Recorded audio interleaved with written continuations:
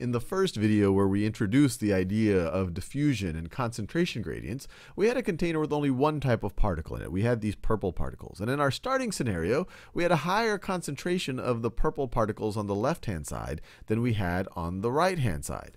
And so if we looked at its concentration gradient, so the concentration gradient went from high concentration on the left to low concentration on the right. And we saw what happened. You had a higher, since you have more of these particles here, and they're all bouncing around in different directions randomly, you have a higher probability of things moving from the left to the right than from the right to the left. You, you will have things move from the right to the left, but you're to have more things. You have a higher probability of things moving from left to right. And so if you let some time pass, then they become more uniformly spread across a container. They have moved down their concentration gradient to make make things more uniform.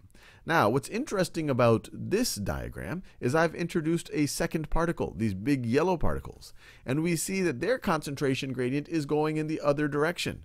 So we have a low concentration. In fact, we have no on the left hand. We have we have no we have none of the yellow particles on the left hand side, and we have a high concentration on the right hand side. So their concentration gradient goes from right to left. And the whole point of this video is to show that each particle moves down its unique concentration gradient, assuming that it's not blocked in some way, is going to move down its unique concentration gradient, irrespective of what the other particles are going to do for the most part.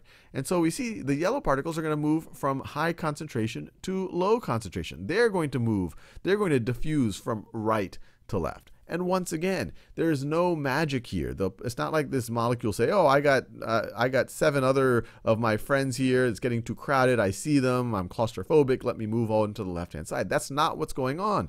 They're just all randomly bouncing around. And when you're in the starting position, when you, when you're exactly like this, there's no probability because uh, of something of a yellow particle moving from left to right because there aren't any yellow particles here. While several while there's a, a probability that some of these particles in a in a in a certain amount amount of time, some of these yellow particles could move from right to left. And so they'll keep doing that until you get to a stable configuration where now you have an equal probability of things moving from left to right and right to left. And that's going to be true for each of these particles. So what I want to, the real takeaway you'll hear in a biology or a chemistry class of things moving down their concentration gradient. And you might say, and, and their unique concentration gradient. As you see, the yellow particles concentration gradient goes in the other direction as the purple particles But there's no magic to this. It's, it's, you just have to imagine a bunch of things just bouncing around in a bunch of different directions, and then what would just naturally happen? You would naturally have a higher probability of moving from high concentration to low concentration than from low concentration